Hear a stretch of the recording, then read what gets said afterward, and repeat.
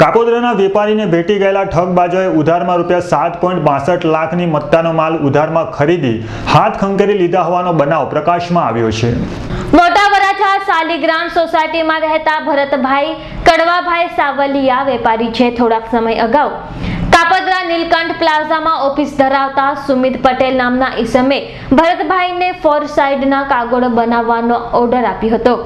જે મુજબ માલ બનાવી ભરતભાઈએ રૂપિયા સાત પોઈન્ટ બાસઠ લાખની મત્તાનો છસો કાર્ટૂન માલ તૈયાર કરી ડિલિવરી પણ કરી દીધી હતી. જો કે માલની ડિલિવરી કરી દીધા બાદ સુમિત પૈસા આપવા માટે ગલ્લા તલ્લા કરવા લાગ્યો હતો.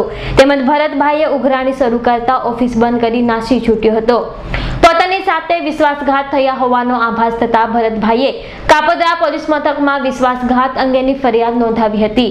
ફરિયાદના આધારે પોલીસે ગુનો નોંધી આરોપીને ઝડપી પાડવાની દિશામાં ચક્ર ગતિમાન કર્યા છે. Bureau report Surat.